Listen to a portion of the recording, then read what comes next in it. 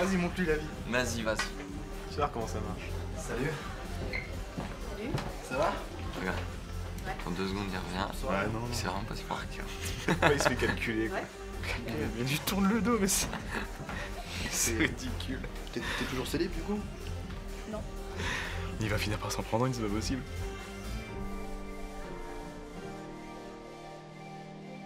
T'imagines s'il la chope, ça serait ouf quand même. Tu vas bien Enchanté. Ça va ouais.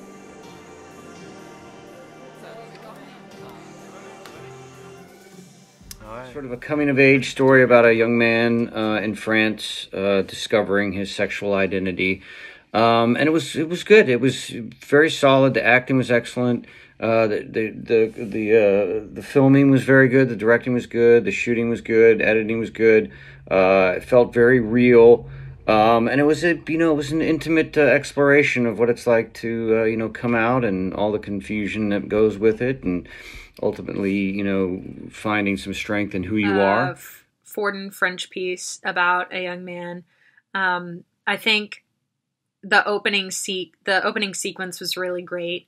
I think um, you know discovering your sexuality uh, when you're a teenager is kind of a difficult thing to do, and there's no better way to emphasize that um, unsureness and awkwardness than a game of spin the bottle at like a high school party where you think everyone's eyes are on you even if they aren't. And just a lot of a lot of wondering what is going on uh, what does everyone else think? And it's a great way to establish that early on uh, for the character and for what they're going to deal with for the rest of the piece um, i think it's really beneficial to to share this story, especially within that age range, because that usually is when, uh, you know, young people are figuring out who they are. And this piece does a great job of, uh, you know, characterizing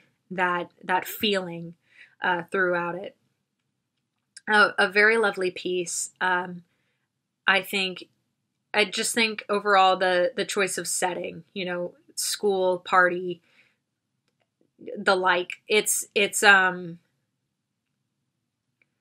it's not only realistic but it is a place where you learn a lot of things socially and educationally and you you know learning about yourself is part of that. So i think it's really beneficial to to show it in these realistic settings um, to show just the coming of age of this young man and the coming into his sexuality as well. It was a really great character driven short film. Um, I liked the story arc in terms of establishing uh, the non cultural norms within the group right off the bat and also um, the feelings of the characters and then kind of having it be this tipping point of one character being out, the other one not, the feelings being there.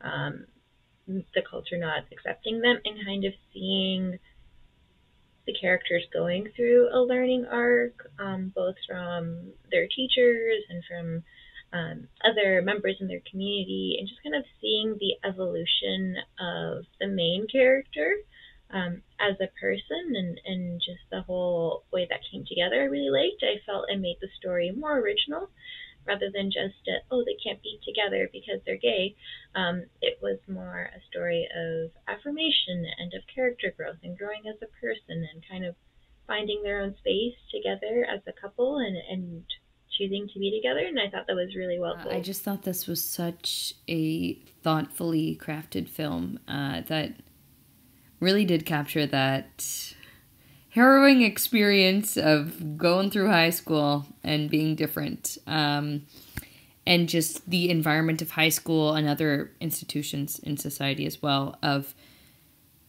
the mob mentality of reinforcing gender norms um, and people succeeding if they fulfill those gender norms and those sexuality norms and being punished if they don't. Um, i thought the crux of the film and its main mission and aim was synthesized so beautifully in the talk from the teacher um, of this denaturalizing of what is the norm in terms of sexuality um, and what culture has designated as as natural.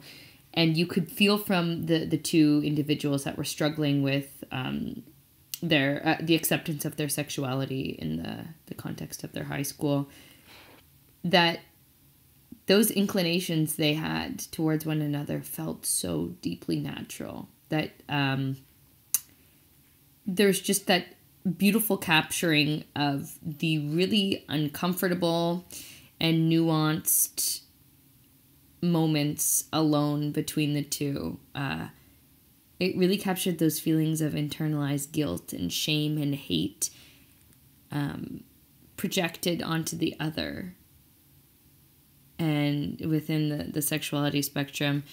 And uh, in those moments where they were alone especially hiding and, and kissing um, and it, it just this film really provided a context for moving past that and for different ways of looking at at the world.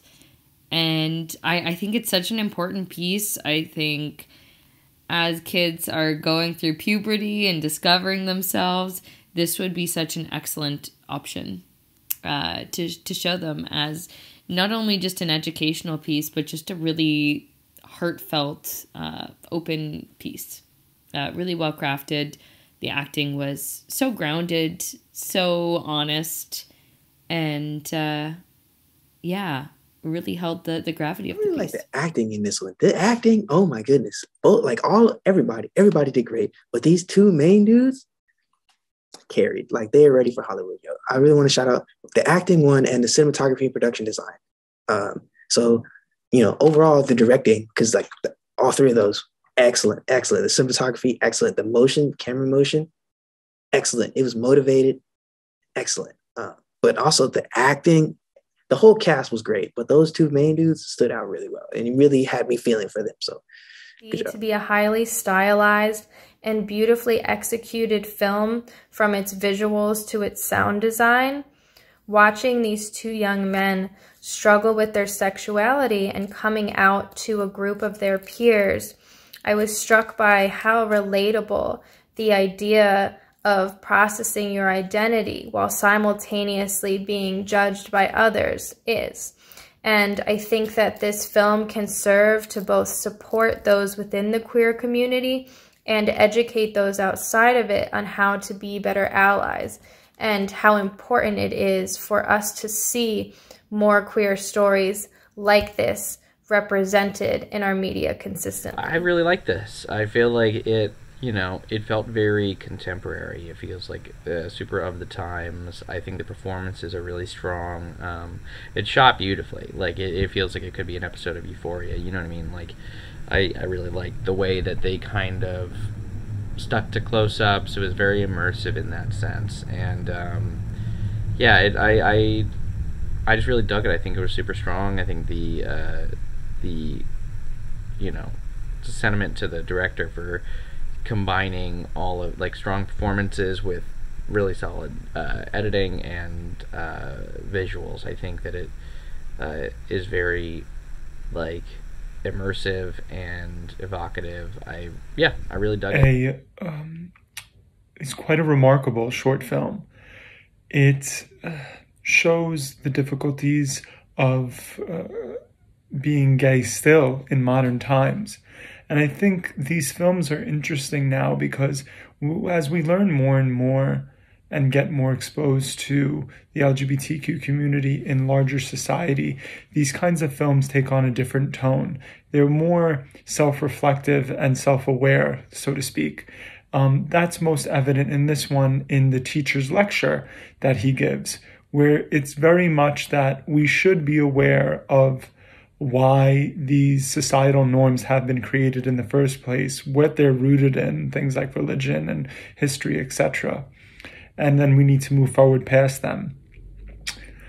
It gives us a happy ending that we realize is not always apparent for many LGBTQ youth, but will no doubt inspire many to be more authentically truthful to who they are inside. Uh, to those they love and to those who may judge them without fear of retribution. Uh, it is a moving piece that um, has at its center a queer love story that should bring hope and inspire and lead to more tolerance and understanding in the world at large.